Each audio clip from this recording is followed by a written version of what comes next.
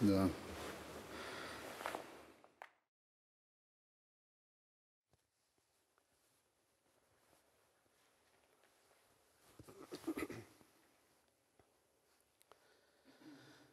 Allah.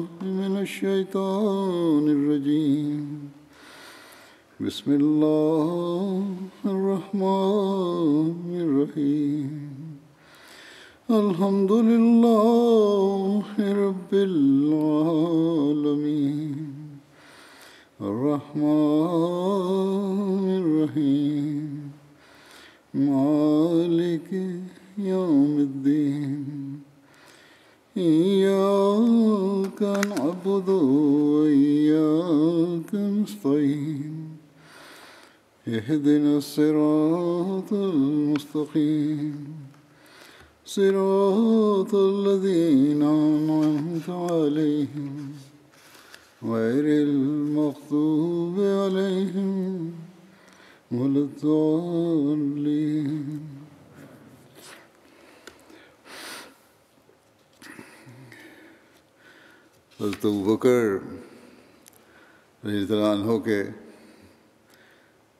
कबूल इस्लाम के बारे में ज़िक्र हो रहा था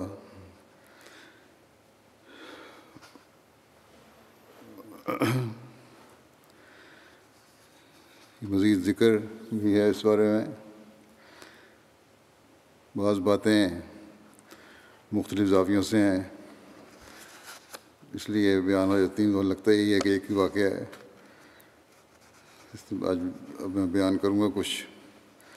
उस दुलगाबा में हज़रत के कबूल इस्लाम के वाक़ का इस तरह ज़िक्र मिलता है कि हज़रत अब्दुल्ला बिन मसूद से रवायत है कि हज़रत बकर सिद्दीक ने फरमाया कि मैं नबी करीम सल्लल्लाहु अलैहि वसल्लम के मबूस होने से पहले एक मरतबा यमन गया और कबीला आज़त के एक बूढ़े शख्स के पास मेहमान ठहरा।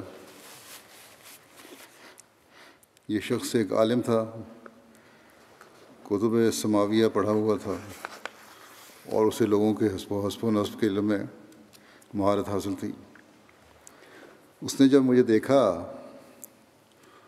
तो कहा, मेरा ख़्याल है कि तुम हरम के रहने वाले हो। मैंने कहा हाँ मैं अहले हरम में से हूँ। फिर उसने कहा, तुमको क्रैशी समझता हूँ। मैंने कहा हाँ मैं क्रैश में से हूँ। फिर उसने कहा, मैं तुमको तैमी समझता हूँ। मैंने कहा हाँ मैं तैम बिन मुर्रा में से हूँ।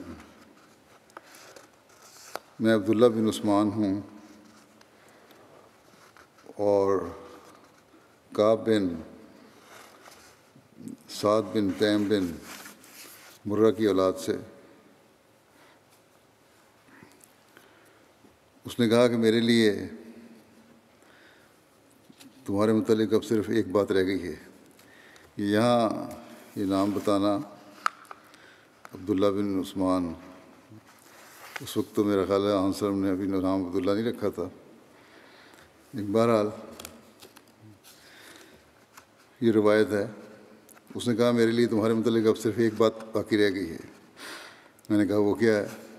उसने कहा, तुम अपने पेट से कपड़ा हटा कर दिखाओ। मैंने कहा, मैं ऐसा ना करूँगा। या तुम मुझे बताओ, तुम ऐसा क्यों चाहते हो? उसने कहा कि, मैं सही और सच्चे इल्म में पाता हूँ कि एक नबी हरम में मबूस होंगे। एक जवान और एक बड़ी उम्र वाला शख्स उनके काम में उनकी मदद करेंगे। जहाँ तक नौजवान का ताल्लुक़ है तो वो मुश्किलात में कूद जाने वाला और परेशानियों को रोकने वाला होगा। और बड़ी उम्र वाला, सफ़ेद और पतले जिस्म वाला होगा, उसके पेट पर तिल होगा और उसकी बाएँ रान पर एक अलामत होगी।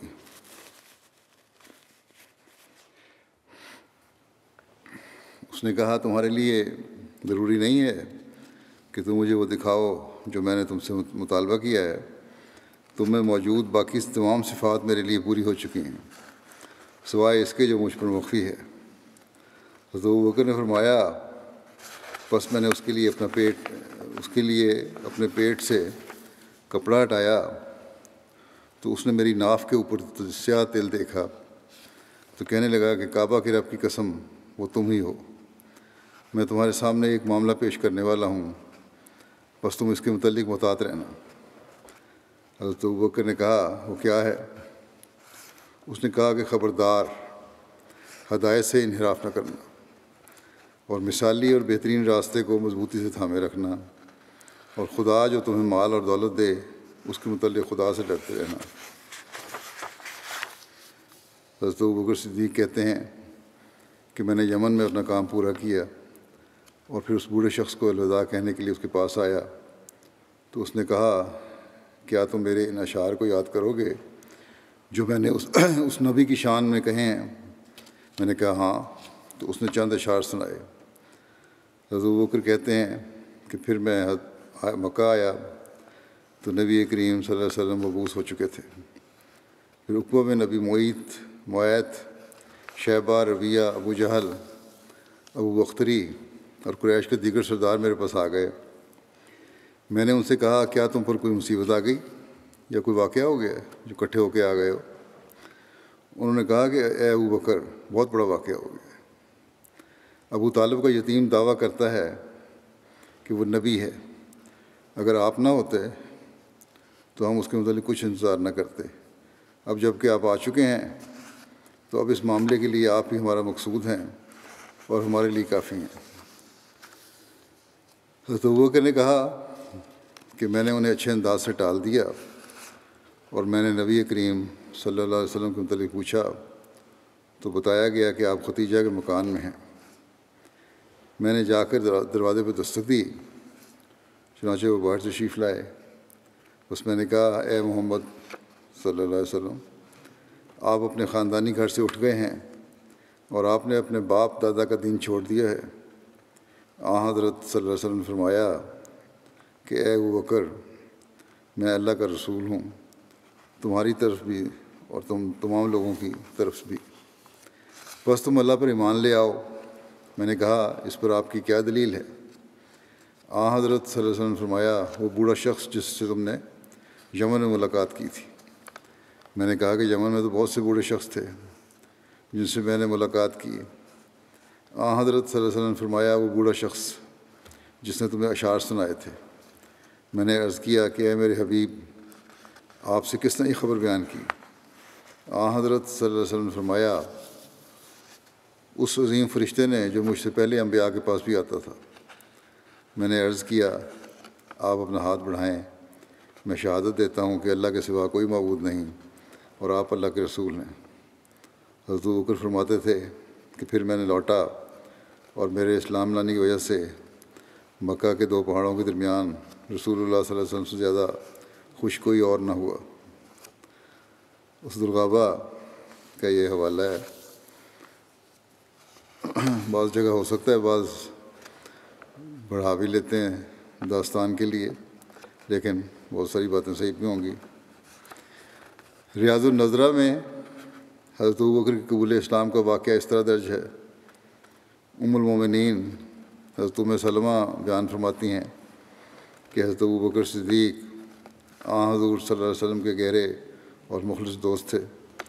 जब आप मबूस हुए तो कुरैश के लोग हज़रत अबू के पास आए और कहा कि अबू बकर, तुम्हारा ये साथी दीवाना हो गया है नाउज़बिल्ला हज़रत बकर ने कहा कि, उसको क्या मामला है? तो उन्होंने कहा कि वो मस्जिद हराम में लोगों को तोहहीद यानी खुदाए वाहिद की उधर बुलाता है।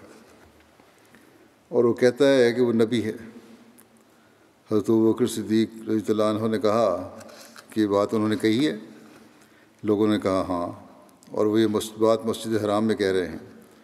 चुनाचे हज़रत बकर नबी करीम तरफ़ गए और आपके दरवाजे पर दस्तक दी। आपको बाहर बुलाया।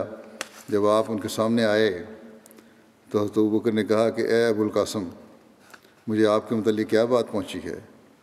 आ हजूर वसल्लम फरमाया अबू बकर, तुम्हें मेरे मतलब क्या पहुँच पहुँची है?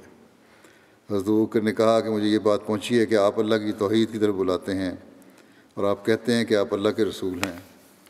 आ हजूर वसल्लम ने फरमाया हाँ अबू बकर यकीन मेरा रब अज़ा वजल ने मुझे, मेरे रब अज़ा वजल ने मुझे बशीर और नज़ीर बनाया है। और मुझे इब्राहीम की दुआ बनाया है और मुझे तमाम इंसानों की तरफ़ मबूस किया है। हज़रत बकर ने आप वसल्लम से कहा, अल्लाह की कसम, मैंने कभी आपको झूठ बोलते नहीं देखा। आप यकीन अपनी अमानत की अजमत, सिला रहमी और अच्छे अफ़ाल की वजह से नबूत के ज़्यादा हकदार हैं। अपना हाथ बढ़ाएँ ताकि मैं आपकी बैत करूँ। तो सल्लल्लाहु वसल्लम ने अपना हाथ बढ़ाया और अबू बकर ने आपकी बैत की।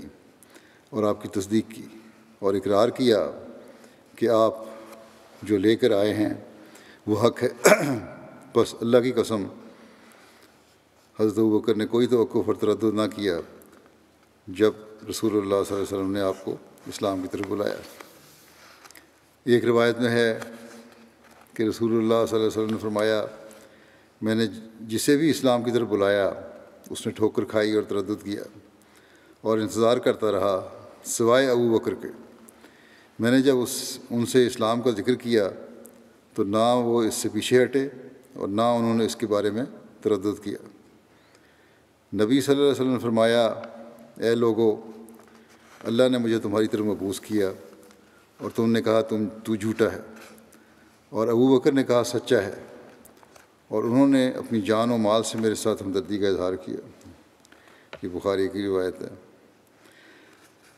हज़रत मुस्लिम हज़रत बकर के कबूल इस्लाम का वाक़ बयान करते हुए एक जगह इस तरह बयान करते हैं कि रसूल करीम सल्लल्लाहु जब दावा नबूत फरमाया तो उस वक्त हज़रत अबू बकर रज़ी अल्लाह कहीं बाहर गए हुए थे, वापस तशरीफ़ लाए। तो आपकी एक लौंडी ने आपको से कहा कि आपका दोस्त नाउज़ बिल्ला पागल हो गया है और वो अजीब अजीब बातें करता है, कहता है कि मुझे, मुझ पर आसमान से फरिश्ते नाजल होते हैं। हज़रत बकर रजान ने उसी वक्त रजान हो उसी वक्त उठे और रसूल करीम वसल्लम की दुकान पर पहुँच कर आपके दरवाजे पर दस्तक दी। रसूल करीम सल्लल्लाहु अलैहि वसल्लम बाहर तशरीफ़ लाए।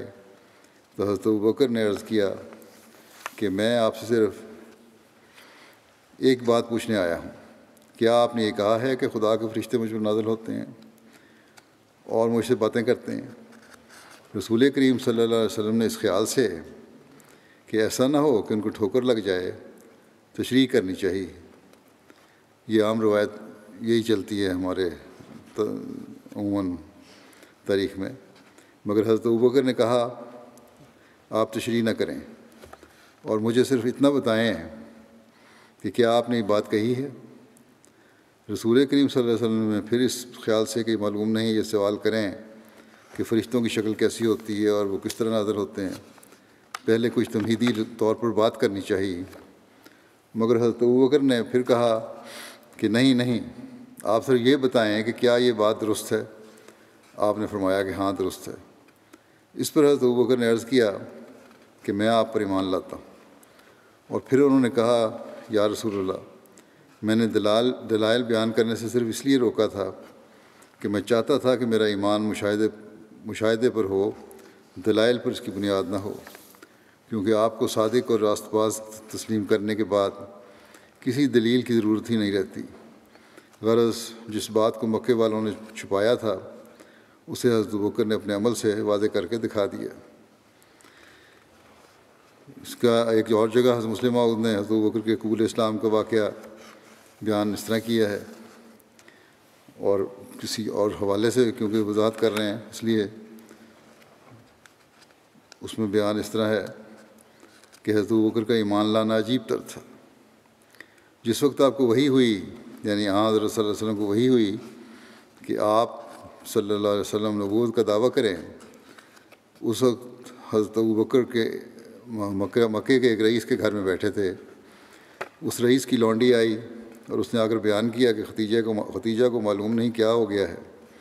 वो कहती है कि मेरे खामन उसी तरह नबी हैं जिस तरह हज़रत मूसा थे। लोग इस खबर पर हंसने लगे और इस किस्म की बातें करने वालों को पागल करार देने लगे। मगर हज़रत बकर, जो रसूल करीम सल्लल्लाहु अलैहि वसल्लम के हालात से बहुत गहरी वाकफियत रखते थे। उसी वक्त उठकर हज़रत रसूल करीम सल्लल्लाहु अलैहि वसल्लम के दरवाज़े पर आए। और पूछा कि क्या आपने कोई दावा किया है? आपने बताया हाँ। अल्लाह ताला ने मुझे दुनिया की असलाह के लिए मबूस किया है और शिरक के मिटाने का हुक्म दिया है। हज़रत बकर ने बग़ैर इसके कोई और सवाल करते जवाब दिया कि मुझे अपने बाप की और माँ की कसम कि तूने कभी झूठ नहीं बोला और मैं नहीं मान सकता कि तू खुदा पर झूठ बोलेगा। बस मैं ईमान लाता हूँ कि खुदा के सिवा और कोई मबूद नहीं। और ये कि आप खुदा ताला की तरफ़ से रसूल हैं। इसके बाद अबू बकर ने ऐसे नौजवानों को जमा करके, जो उनकी नेकी और तकवा के कायल थे, यानी हज़रत अबू बकर की नेकी और तकवा के कायल थे, उन्हें समझाना शुरू किया और सात आदमी और रसूल करीम वसल्लम पर ईमान ले आए। ये सब नौजवान थे, जिनकी उम्र बारह साल से लेकर पच्चीस साल तक थी। फिर एक जगह मुस्लिम ने इस वाक़े को यूँ बयान फरमाया है कि हज़रत बकर ने रसूल करीम सल्लल्लाहु अलैहि वसल्लम को एक ही दलील से माना है। और कभी भी, और कभी उनके दिल में अपने आप के मतलब एक लम्हा के लिए भी शुबा पैदा नहीं हुआ। दलील वही चल रही है वाक़ात ज़रा मुख्तलिफ़ हो जाते हैं बज़ दफ़ा। और वो दलील ये थी कि उन्होंने रसूल करीम सल्लल्लाहु अलैहि वसल्लम को बचपन से देखा और वो जानते थे कि आपने कभी झूठ नहीं बोला। कभी शरारत नहीं की। कभी गंदी और नापाक बात आपके मुँह से नहीं निकली।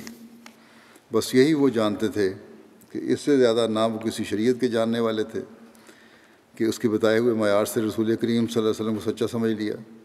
ना किसी कानून के पैरव थे उन्हें कुछ मालूम न था कि खुदा का रसूल क्या होता है और उसकी सदाकत के क्या दलाइल होते हैं। वो सिर्फ़ ये जानते थे कि रसूल करीम अलैहि वसल्लम ने झूठ कभी नहीं बोला। वो एक सफ़र पर गए हुए गए हुए थे। जब वापस आए तो रास्ते में ही किसी ने उन्हें कहा, तुम्हारा दोस्त मोहम्मद वसल्लम कहता है कि मैं खुदा का रसूल हूँ। उन्होंने कहा कि क्या मोहम्मद वसल्लम ये कहता है? उसने कहा हाँ। उन्होंने कहा, फिर वो झूठ नहीं बोलता, जो कुछ कहता है वो सच कहता है। क्योंकि जब उसने कभी बंदों पर झूठ नहीं बोला तो खुदा पर क्यों झूठ बोलने लगा? जब उसने इंसानों से कभी ज़रा बदयांती नहीं की तो अब उनसे इतनी बड़ी बदयांती किस तरह करने लगा कि उनकी रूहों को तबाह कर दे? सिर्फ़ ये दलील थी जिसकी वजह से हज़रत बकर ने रसूल करीम वसल्लम को माना और इसी को खुदा ताला ने भी लिया है। चुनाच फरमाता है, लोगों को कह दो फ़कत लबिस्तो फ़ीकुम उम्रम मिन मिन कबल ही फ़कत लबिस्तो फ़ीकुम उम्रम मिन कबल अफला ताकिलून मैं एक अरसा तुम में रहा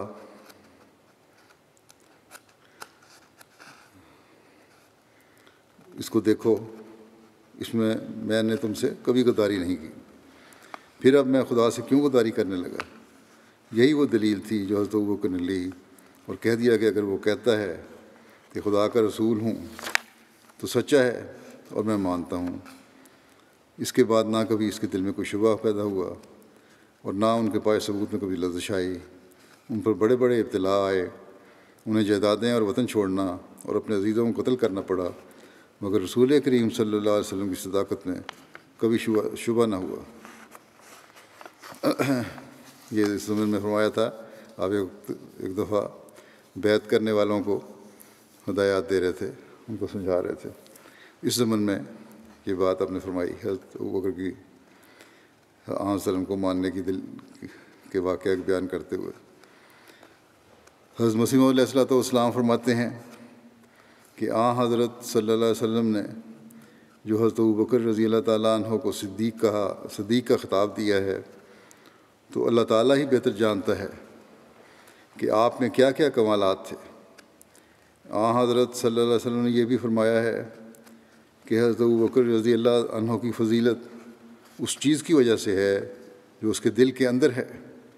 और अगर गौर से देखा जाए तो हकीकत में हज़रत अबू बकर ने जो सिद्क दिखाया, उसकी नज़ीर मिलनी मुश्किल है। और सच तो ये है कि हर ज़माने में जो शख्स सिद्दीक के कमालत हासिल करने की ख्वाहिश करे, उसके लिए ज़रूरी है कि अबू बकरी खसलत खसलत और फितरत को अपने अंदर पैदा करने के लिए जहाँ तक मुमकिन हो मुजाहिदा करे। और फिर हक़ुलमकदूर दुआ से काम ले। जब तक अबू बकरी फितरत का साया अपने ऊपर डाल नहीं लेता और उसी रंग में रंगीन नहीं हो जाता, सिद्दीकी कमालत हासिल नहीं हो सकते, फिर फरमाया कि अबू बकरी फितरत क्या है? उस पर मुफसल बहस और कलाम का ये मौका नहीं, क्योंकि इसके तफसीली बयान के लिए बहुत वक्त दरकार है। फरमाया कि मैं मुख्तसरन एक वाक़ बयान कर देता हूँ और वो ये है कि जब आ हज़रत सल्लल्लाहु अलैहि वसल्लम ने नबूत का इजहार फरमाया, उस वक्त हज़रत बकर अनहो शाम की तरफ़ सदागरी करने के लिए गए हुए थे। जब वापस आए तो अभी रास्ते ही में थे कि एक शख्स आपसे मिला। आपने उससे मक्के के हालात दरियाफ़त फरमाए और पूछा कि कोई ताज़ा खबर सुनाओ। जैसा कि कायदे की बात है कि जब इंसान सफ़र से वापस आता है तो रास्ते में अगर कोई अहले वतन मिल जाए तो उससे अपने वतन के हालात दरियाफ़त करता है। उस शख्स ने जवाब उस शख्स ने जवाब दिया कि नई बात यह है कि तेरे दोस्त मोहम्मद अलैहि वसल्लम ने पैगम्बरी का दावा किया है। हजू बकर ने यह सुनते ही फरमाया कि अगर उसने ये दावा किया है तो बिला शक वो सच्चा है। इसी एक वाक़े से मालूम हो सकता है कि आ हज़रत अलैहि वसल्लम पर आपको किस कदर हुसन जन था? मुआवजे की भी ज़रूरत नहीं समझी। और हकीकत भी यही है कि मुआवजा वो शख्स माँगता है जो मुद्दई के हालात से नावाकिफ़ हो और जहाँ गैरियत हो और मज़ीद तसली की ज़रूरत हो। लेकिन जिस शख्स को हालात से पूरी वाकफियत हो तो उसे मुआवजे की ज़रूरत ही क्या है? अलगरज हज़रत अबू बकर रज़ी तन हो रास्ता में ही आ हज़रत अलैहि वसल्लम का दावा नबो सुनकर ईमान ले आए। फिर जब मक्के में पहुँचे तो आ हज़रत सल्लल्लाहु अलैहि वसल्लम की खिदमत मुबारक में हाज़िर होकर दरियाफ़त किया कि क्या आपने दावा क्या आपने नबूत का दावा किया है? आ हज़रत वसल्लम ने फरमाया कि हाँ ये दुरुस्त है। इस पर हज़रत बकर तहो ने कहा कि आप गवाह रहें कि मैं आपका पहला मुसद्दिक हूँ। आपका ऐसा कहना महज कौल ही कौल न था, बल्कि आपने, यानी हजू बकर ने अपने अफ़ाल से उसे साबित कर दिखाया और मरते दम तक इसे निभाया और बाद मरने के भी साथ में छोड़ा। हज़रत मुसीम इस्लाम सूर्य रहमान की आयत, वलमन खाफा मुकाम रबी जन्नतान, और जो भी अपने रब के मुकाम से डरता है, उसके लिए दो जन्नतें हैं।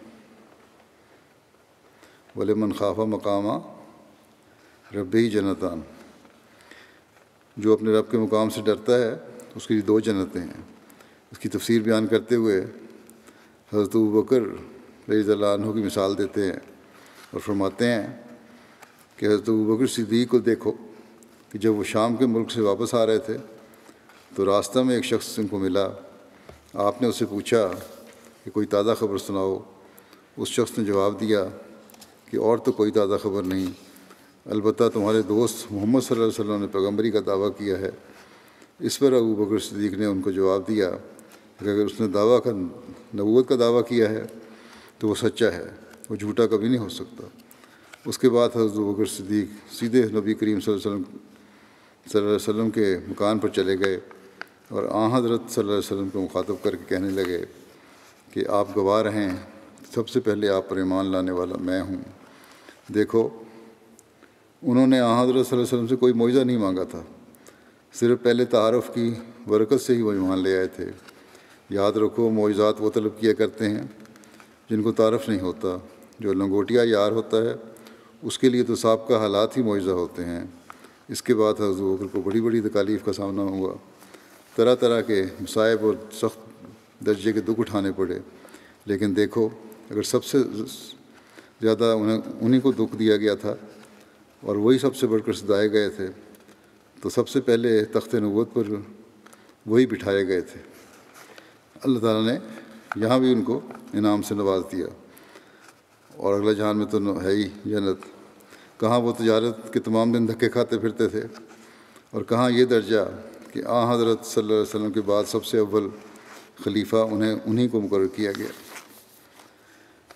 फिर एक जगह मसीम फरमाते हैं आदमी दो किस्म के होते हैं। एक तो वो सईदुलफ़ितरत होते हैं, जो पहले ही मान लेते हैं। ये लोग बड़े ही दूरंदेश और बारीक बीन होते हैं। जैसे हतूब के सिद्दीक रदी तन होते और एक बेवकूफ़ होते हैं, जब सर पर आ पड़ती है, तब कुछ चौंकते हैं। यानी जब किसी मुश्किल में गिरफ़्तार होते हैं, अजाब आता है, तब सोचते हैं कि मानना चाहिए कि नहीं। इस बारे में भी बहस होती है कि रसूल करीम वसल्लम पर सबसे पहले कौन ईमान लाया मौरखीन के नज़दीक इस बात में इख्तलाफ पाया जाता है कि मर्दों में से सबसे पहले कौन ईमान लाया था? हज़रत बकर या हज़रत अली या हज़रत जैद बिन हारसा? बाद इसका ये हल निकालते हैं कि बच्चों में से हज़रत अली और बड़ों में से हज़रत बकर और ग़ुलामों में से हज़रत जैद बिन, जैद सबसे पहले ईमान लाए थे। चुनाचे अहमद बिन अब्दुल्ला इन रवायात में तदबीक करते हुए लिखते हैं कि सबसे पहले हज़रत खतीजा बिनत खवैलत ने इस्लाम कबूल किया और मर्दों में सबसे पहले हज़रत अली ने इस्लाम कबूल किया, जबकि वह अभी बच्चे थे, जैसा कि उनकी उम्र के बारे में पहले ज़िक्र हो चुका है कि उनकी उम्र दस साल थी। वो अपना इस्लाम मख्फी रखे हुए थे और पहले बालग अरबी शख्स थे, शख्स जिसने इस्लाम कबूल किया। और अपने इस्लाम का इजहार किया, वो हज़रत अबू बकर बिन अबू कहाफ़ा थे कुहाफ़ा थे और आज़ाद करदा ग़ुलामों में से जिसने सबसे पहले इस्लाम कबूल किया वह जैद बिन हारसा थे। ये मुतफ़िक अमर है, जिसमें कोई इख्तलाफ नहीं। हज़रत मिर्ज़ा बशीर अहमद साहब ने इस बहस का ज़िक्र करते हुए जो फरमाया, वो इस तरह है कि आ हज़रत सल्लल्लाहु अलैहि वसल्लम ने जब अपने मिशन की तबलीग शुरू की तो सबसे पहले ईमान लाने वाली हज़रत खतीजा थी, जिन्होंने एक लम्हे के लिए भी तरद नहीं किया। हज़रत खतीजा के बाद मर्दों में सबसे पहले ईमान लाने वालों मतलब मौरखीन में इख्तलाफ है। बाद हज़रत अबू बकर अब्दुल्ला बिन नबी कहाफ़ा को नाम लेते हैं, बाद हज़रत अली का या जैद बिन हारसा का। लेकिन आप लिखते हैं कि हमारे नज़दीक झगड़ा फजूल है। हज़रत अली और जैद बिन हारसा आ हज़रत सल्लल्लाहु अलैहि वसल्लम के घर के आदमी थे। और आपके बच्चों की तरह आपके साथ रहते थे। आ हज़रत सल्लल्लाहु अलैहि वसल्लम का फरमाना था और उनका ईमान लाना था। जो आ वसल्लम ने फरमाया, वो इतना बच्चों की हैसियत से वो मानते थे उस बात को। और ये हो सकता है उसी वक्त इस, ये बात भी उन्होंने इस तरह ही मानी हो। फिर आप लिखते हैं कि इन दोनों बच्चों को निकाल दो। तो हज़रत बकर मुसलमा तौर पर मुकदम और सबक बिल ईमान थे। चुनाचे आ हज़रत के दरबारी शायर हसान बिन साबित अंसारी, हज़रत मतलब कहते हैं कि ज़ा तज़क्रत तज़क्रता शजम मिन अखी सिक़त फ़स्कुर अखा का अबा बकरिन बेमा फ़ाला खैरुलबरिया अतकाहा व आदलहा, बादन नबी व औफ़ा बेमा हमला। असान तालिया महमूद मशद व अव्वल से मिनहूम सद्दा कर रसला यानी जब तुम्हारे दिल में कभी कोई दर्द अमेज याद तुम्हारे किसी अच्छे भाई के अंदर पैदा हो तो उस वक्त अपने भाई अबू बकर को भी याद कर लिया करो उसकी उन खूबियों की वजह से जो याद रखने के काबिल हैं वो आ हज़रत सल्लल्लाहु अलैहि वसल्लम के बाद सब लोगों में से ज़्यादा मुतकी और सबसे ज़्यादा मुनसिफ मिजाज था और सबसे ज़्यादा पूरा करने वाला, ज़्यादा पूरा करने वाला था अपनी उन जिम्मेदारियों को जो उसने उठाई। हाँ अबू बकर वही थे, वही तो है जो गौर गार सौर में आ, हज़रत वसल्लम के साथ दूसरा शख्स था, जिसने अपने आप को आपकी इतवा में बिल्कुल महव कर रखा था और वो जिस काम में भी हाथ डालता था, उसे खूबसूरत बना देता था और वो उन सब लोगों में से पहला था जो रसूल पर ईमान लाए। हज़रत बकर अपनी शराफत और काबिलियत की वजह से कुरैश में बहुत मुकरम मौज़ थे। और इस्लाम में तो उनको वो रुतबा हासिल हुआ जो किसी और सहाबी को हासिल नहीं। हज़रत ने एक लम्हे के लिए भी आ हज़रत वसल्लम के दावा में शक नहीं किया, बल्कि सुनते ही कबूल किया और फिर उन्होंने अपनी सारी तवज्जो और अपनी जान और माल को आ हज़रत अलैहि वसल्लम के लाए हुए दीन की खिदमत में वक्फ कर दिया। आ हज़रत अलैहि वसल्लम अपने सहाबा में अबू बकर को ज़्यादा अज़ीज़ रखते थे और आपकी वफ़ात के बाद वो आपके पहले खलीफा हुए। अपनी खिलाफत के ज़माने में भी उन्होंने बेनज़ीर काबिलियत का सबूत दिया। हज़रत के मतलब यूरोप का मशहूर मुस्तशरक, स्प्रेंगर लिखता है कि अबू बकर का आगाज़ इस्लाम में मोहम्मद अलैहि वसल्लम पर ईमान लाना इस बात की सबसे बड़ी दलील है। कि मोहम्मद सल्लल्लाहु अलैहि वसल्लम खा धोखा खाने वाले हों, मगर धोखा देने वाले हरगिज़ नहीं थे, बल्कि सिद्ध के दिल से अपने आप को खुदा का रसूल यकीन करते थे। सर विलियम योर को भी स्प्रेंगर की इस राय से इतफाक़ है, लिखा है जवशीर साहब ने। तबलीग इस्लाम और उसके नतीजे में किन आजमाइशों से गुजरना पड़ा था तो बकर को? इसके बारे में उस दुलगाबा में हज़रत के मतलब लिखा है कि जब इस्लाम आया तो आपने सबसे पहले इस्लाम कबूल किया और आपके हाथ पर एक जमात ने इस्लाम कबूल किया।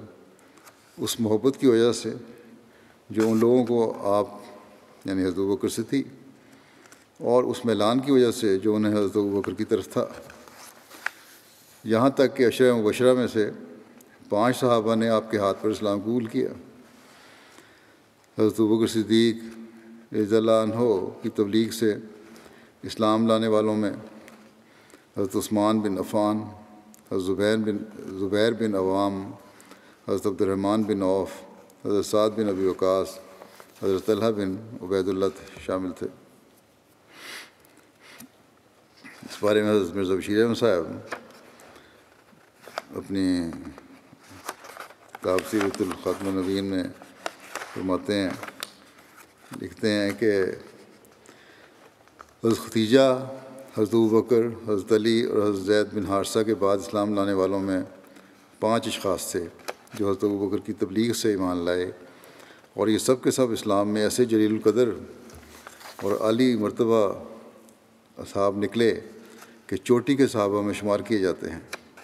उनके नाम ये हैं, अव्वल हज़रत उस्मान बिन अफ़ान। जो ख़ानदान बनु मैया में से थे। इस्लाम लाने के वक्त उनकी उम्र करीबन तीस साल की थी। हज़रत उमर के बाद वहाँ हज़रत अलैहि वसल्लम के तीसरे खलीफा हुए। हज़रत उस्मान नहायत बाहया, बावफा नरम दिल फयाज और दौलतमंद आदमी थे। चनाचे कई मौक़ों पर उन्होंने इस्लाम की बहुत बहुत माली खदमात की। हज़रत उस्मान से आ हज़रत सल्लल्लाहु अलैहि वसल्लम की मोहब्बत का अंदाज़ा इस बात से भी हो सकता है कि आपने उन्हें पै दर पै अपनी दो लड़कियाँ शादी में दी इसकी वजह से उन्हें नौरैन कहा कहते हैं। दूसरे अब्दुलरहमान बिन औफ थे, जो ख़ानदान बनु जहरा से थे, जिस ख़ानदान से यहाँ हज़रत वसल्लम की वालदा थी। नहायत समझदार और बहुत सुलझी हुई तबीयत के आदमी थे। हज़रत उस्मान की खिलाफत का सवाल उन्हीं के हाथों से तय हुआ था। इस्लाम लाने के वक्त उनकी उम्र करीबन तीस साल की थी। अहद उस्मानी में फौत हुए। तीसरे साद बिन नबी वकास थे, जो उस वक्त बिल्कुल नौजवान थे, यानी उस वक्त उनकी उम्र उन्नीस साल की थी। ये भी बनु जहरा में से थे और नहायत दिलेर और बहादुर थे। हज़रत उमर के ज़माने में इराक़, उन्हीं के हाथों पर, हाथ पर फतह हुआ।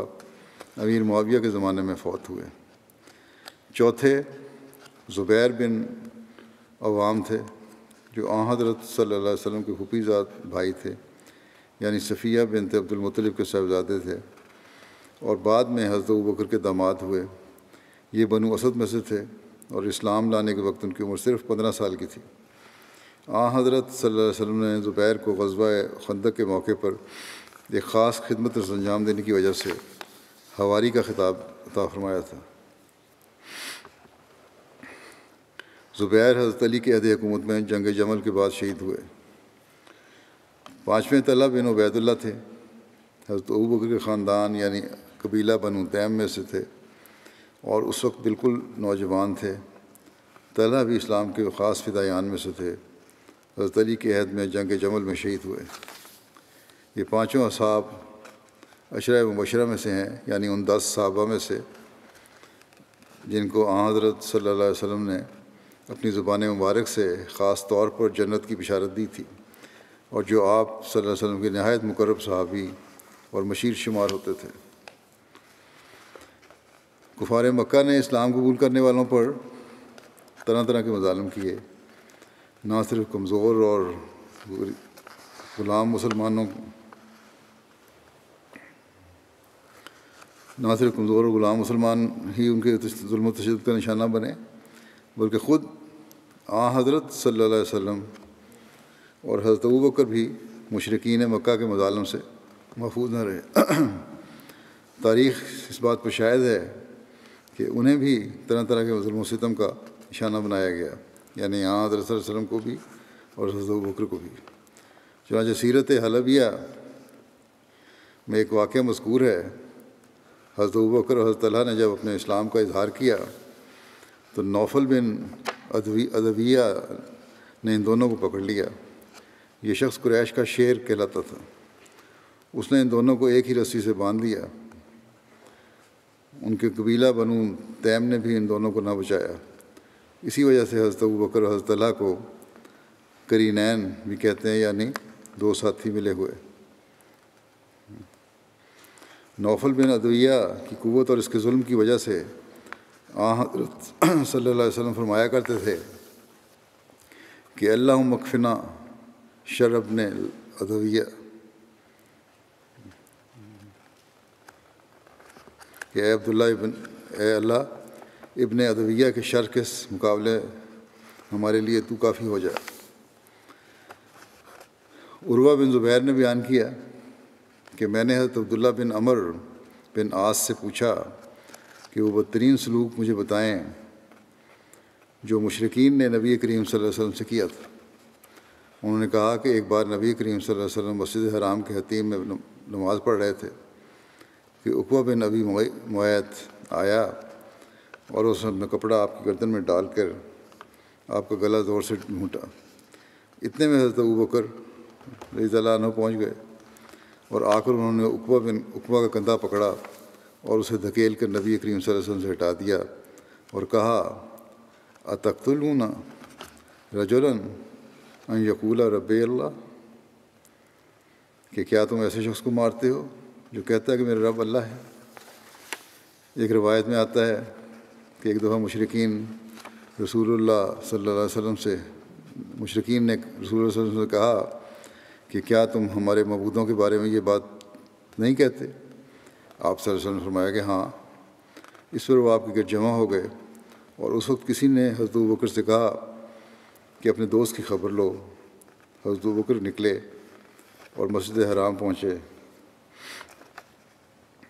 आपने अलैहि वसल्लम को इस हाल में पाया कि लोग आपके गिरद इकट्ठे हैं। बकर ने कहा, तुम लोगों का बुरा हो। आ तख्तलूना रजलन अन यकूला। रब अल्लाह फ़कत जाकुम बिलबैनात मिन रब्बिकुम। क्या तुम इस महज इसलिए एक शख्स को कत्ल करोगे कि वो कहता है कि मेरा रब अल्लाह है और वो तुम्हारे पास तुम्हारे रब की तरफ़ से खुले खुले निशान लेकर आया है? इस पर उन्होंने हज़रत वसल्लम को छोड़ दिया और हज़रत बकर की तरफ़ लपके और उनको मारने लगे। हज़रत बकर की बेटी हज़रत अस्मा कहती हैं कि आप हमारे पास इस हालत में आए कि आप अपने बालों को हाथ लगाते तो वो आपके हाथ में आ जाते और आप कहते जाते थे कि तबारकता याजल जलाल वाल इकराम, कि ए बुजुर्गी और इज़्ज़त वाले तो बाबरकत है। एक रिवायत में आता है कि इन लोगों ने आ हज़रत वसल्लम को सर मुबारक और आपकी रीश मुबारक को इस ज़ोर से खींचा कि आपके अक्सर बाल मुबारक गिर गए। इस पर हज़रत बकर आपको बचाने के लिए खड़े हुए और वो कह रहे थे अतख्तलूना रजुलन यकूला रब अल्लाह, क्या तुम महज इसलिए एक शख्स को कत्ल करोगे कि वो कहता है कि मेरा रब अल्लाह है? क्या तुम इस शख्स को इस वजह से कत्ल करना चाहते हो कि वो कहते हैं कि अल्लाह मेरा रब है और हज़रत बकर रो भी रहे थे? इस पर अलैहि वसल्लम ने फरमाया, ए बकर, इनको छोड़ दो। उसकी कसम जिसके हाथ में मेरी जान है, मैं इनकी तरफ़ भेजा गया हूँ ताकि मैं कुर्बान हो जाऊँ। इस पर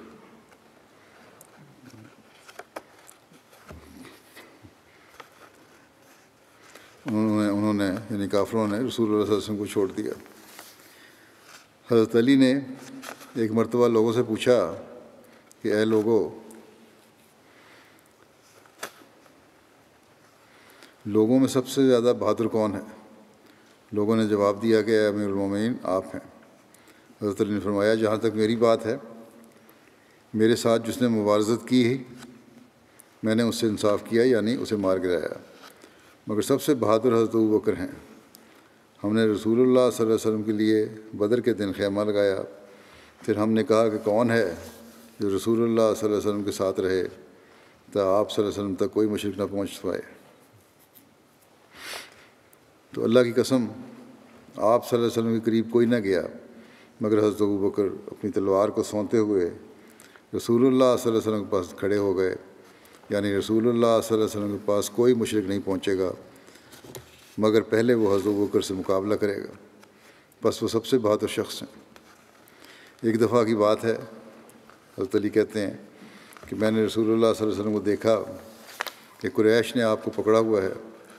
कोई आप पर गुस्सा उतारता, कोई आपको तंग करता और वो लोग कहते कि तुमने तो तमाम मबूदों को एक मबूद बना दिया है। अल्लाह की कसम, जो भी आप वसल्लम के करीब आता हज़रत बकर किसी को मार कर भगाते, किसी को बुरा भला कहकर दूर करते और कहते तुम्हारी हलाकत हो। अतख्तलूना रजलन यकूला रब अल्लाह। क्या तुम इसलिए एक शख्स को कत्ल करोगे कि वो कहता है कि मेरा रब अल्लाह है? बस अली ने अपनी चादर हटाई और इस कदर रोए कि आपकी दाढ़ी दाढ़ी तर हो गई। फिर फरमाया, मैं तुम्हें अल्लाह की कसम देता हूँ क्या आल फ़िरौन का मोमिन बेहतर था? या हज़रत बकर? गालबन हज़रत अली ने आल फ़िरौन के मोमिन का ज़िक्र इसलिए किया कि कुरान करीम में यह आयत आल फ़िरौन के उस शख्स की तरफ़ मनसूब है, जो अपने ईमान को छुपाए हुए था। और फ़िरौन के दरबार में कह रहा था कि अतख्तलूना रजलन यकूला रब अल्लाह? इस पर लोग खामोश हो गए। हज़रत अली ने फरमाया, अल्लाह की कसम हज़रत बकर की एक घड़ी आल फ़िरौन के मोमिन की ज़मीन भर की नेकियों से बेहतर है, क्योंकि वो शख्स अपने ईमान को छुपाता था और ये शख्स यानी हज़रत बकर अपने ईमान का ऐलान करता था। हज़रत मुस्लिम माऊद इजलानो फरमाते हैं कि जब हम रसूल करीम अलैहि वसल्लम की ज़िंदगी के वाक़ात को देखते हैं तो हमें ये दावा एक हकीकत बनकर नज़र आता है और हमें कदम कदम पर ऐसे वाक़ात दिखाई देते हैं जो आपकी इस अजीम शान, मोहब्बत और शफ़क़त का सबूत हैं, जो आप सल्लल्लाहु अलैहि वसल्लम को बनी नौ इंसान से थी। चुनाचे आपको खुदा वाहिद का पैगाम पहुँचाने के लिए साल हा साल तक ऐसी तकालीफ में से गुजरना पड़ा कि जिनकी कोई हद नहीं। एक दफ़ा खाना काबा में कुफार ने आपके गले में पटका डालकर इतना घूंटा कि आपकी आँखें सुरख होकर बाहर निकल पड़ी। हज़रत ने सुना, वो दौड़े हुए आए और रसूल करीम वसल्लम को इस तकलीफ़ की हालत में देख कर आपकी आँखों में आँसू आ गए। और आपने उन कुफार को हटाते हुए कहा, खुदा का खौफ करो। क्या तुम एक शख्स पर इसलिए जुल्म कर रहे हो कि वो कहता है, खुदा मेरे रब है हज़रत मसीम सलाम फरमाते हैं, एक दफ़ा चंद दुश्मनों ने आपको, सल्लल्लाहु अलैहि वसल्लम को इतना तनहा पाकर पकड़ लिया और आपके गले में पटका डाला, डालकर उसे मरोड़ना शुरू किया। करीब था कि आपकी जान निकल जाए। कि इत्तेफाक से अबू बकर आ निकले और उन्होंने मुश्किल से छुड़ाया। इस पर अबू बकर को इस कदर मारा पीटा कि वो बेहोश होकर ज़मीन पर गिर पड़े। ग़ुलामों को आज़ाद करवाने के बारे में, हज़रत बकर के बारे में रवायात हैं। लिखा है कि हज़रत बकर ने जब इस्लाम कबूल किया तो उनके पास चालीस हज़ार दिरहम थे। आपने उसे अल्लाह की राह में खर्च किया और उनको और उन सात को आज़ाद करवाया। जिनको अल्लाह की वजह से तकलीफ़ दी जाती थी।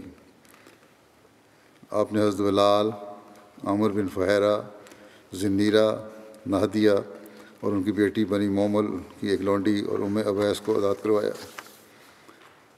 हज़रत बलाल बनु जुमा के ग़ुलाम थे और उमैया बिन खल्फ आपको शदीद तकलीफ़ पहुँचाया करता था।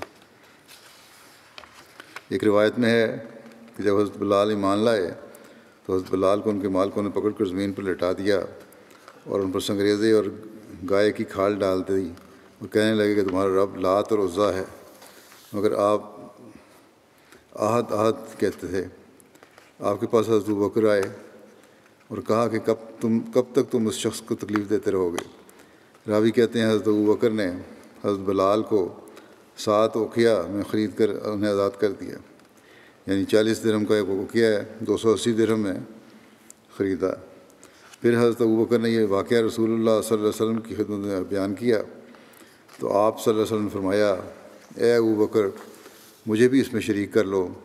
हज़रत अबू बकर ने अर्ज़ किया, या रसूलुल्लाह, मैंने उसे आज़ाद कर दिया। हज़रत आमिर बिन फ़हरा, एक स्याह फाम ग़ुलाम थे। अब तुफ़ैल बिन अब्दुल्ला बिन सखबरा के ग़ुलाम थे, जो कि वालदा की तरफ़ से हज़रत आयशा रज़ी अल्लाह के भाई थे। हज़रत आमिर इस्लाम लाने वाले सबकीन में शामिल थे। आपको अल्लाह ताला की राह में तकालीफ़ पहुँचाई गई। हज़रत बकर ने आपको ख़रीदा और आज़ाद कर दिया। हज़रत नीरा रूमी इस्लाम में सबकत ले जाने वाली ख़वातीन में से थीं। उन्होंने इस्लाम के आगाज़ में ही इस्लाम कबूल कर लिया था। मुशरकिन आपको अजियतें देते थे। ये कहा जाता है कि आप बनु मखजूम की लौंडी थीं और अबू जहल आपको अजियत दिया करता था। और कहा जाता है कि आप बनु अब्दुल्ला अब्दुद्दार की लौंडी थीं। जब उन्होंने इस्लाम कबूल किया तो उनकी बिनाई चली गई। इस पर मुशरकिन ने कहा कि लात और उज़ा ने इन दोनों के के इनकार करने की वजह से जनीरा को अंधा कर दिया इस पर जनीरा ने कहा कि लात और उज़ा तो ये भी नहीं जानते कि इन दोनों की इबादत कौन करता है। मुझे क्या अंधा करना था? उनको खुद नज़र नहीं आता। ये तो आसमान से है। अल्लाह की मर्ज़ी, मेरी नज़र चली गई। और मेरा रब मेरी बिनाई लुटाने पर कादिर है। ये जवाब दिया काफरों को। अगले दिन उन्होंने इस हालत में सुबह की, रात सोई, अगले दिन जब उठी तो अल्लाह ताला ने आपकी बिनाई लुटा दी थी। नज़र ठीक हो चुकी थी। इस पर कुरैश ने कहा ये तो मोहम्मद की जादू की वजह से हुआ है। जब हज़रत ने वो तकालीफ देखी, जो आपको पहुँचाई जाती थी तो आपने उनको ख़रीदा और आज़ाद कर दिया। ये ज़िक्र भी इन आइंदा भी चलेगा। आज़ादी के बारे में बाज़ और वाक़ात हैं।